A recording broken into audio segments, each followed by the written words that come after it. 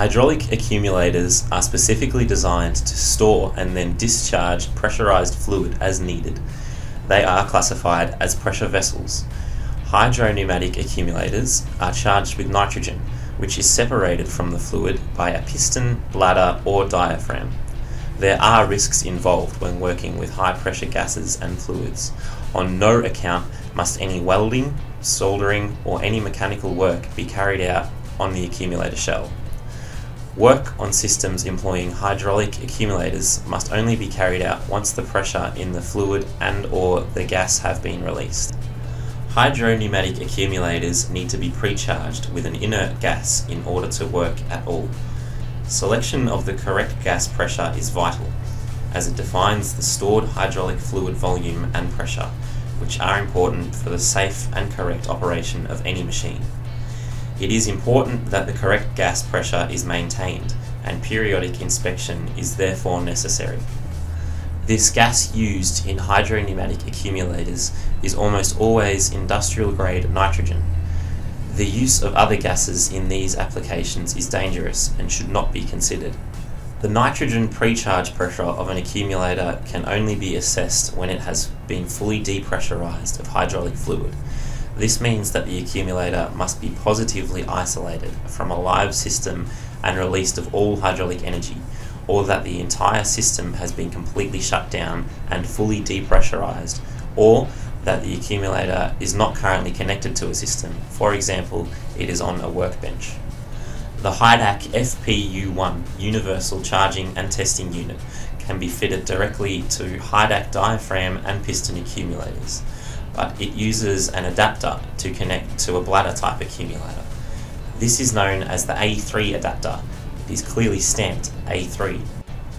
The accumulator gas valve will be opened and closed by pushing the valve plunger down. This will be operated by the center screw of the A3 adapter. Due to the high pressures involved, this valve should never be opened by hand. Use only the correct equipment that is the Universal Charging and Testing Unit, and follow this process.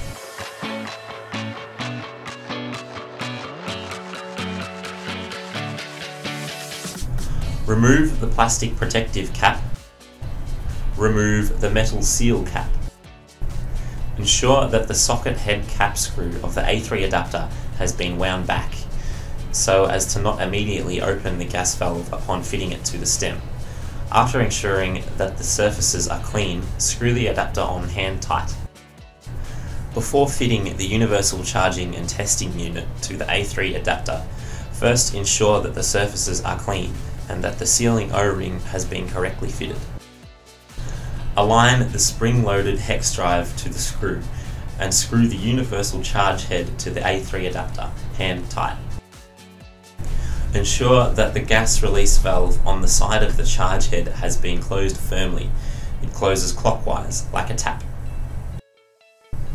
Before connecting a nitrogen regulator to a nitrogen bottle, ensure that the regulator will be closed by backing the pressure setting down, winding the adjustment counterclockwise. Make sure that the threads and seats are clean, and connect the nitrogen regulator to a bottle of industrial grade nitrogen.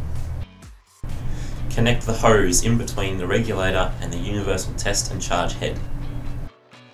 Open the isolation valve of the gas bottle. Slowly turn the main spindle of the charge head clockwise until you feel a resistance to movement. From this point, back the spindle off about one quarter of a turn. Begin the gas flow from the bottle to the accumulator by slowly raising the pressure at the regulator. When shipped, the majority of HYDAC bladder accumulators are charged to 2 bar.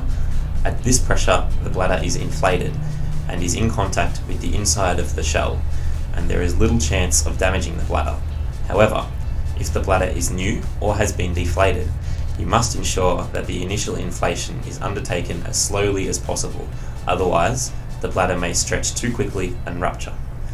You can assess whether the bladder has been inflated through checking the position of the fluid port poppet stem. If it has extended, the inflated bladder is pushing the poppet valve closed. The rate of nitrogen flow may be increased only once the bladder has been properly inflated. Raise the gas pressure in the vessel to the desired pre-charge pressure. Stop the flow of gas by backing off the nitrogen regulator fully. Small pressure changes may occur in the accumulator assembly with temperature changes. It is best practice to charge the vessel to a pressure slightly higher than what is needed. Allow the vessel to cool and then depressurize to the final setting slowly. Once the pressure is at the desired level, you can begin disconnection by winding the main spindle counterclockwise, then reclose the gas valve. The spindle has been fully wound back once a faint clicking noise is heard. Release the gas from the charge head and hose by opening the gas release valve in a counterclockwise direction. Once depressurized, you can remove the charge head from the A3 adapter.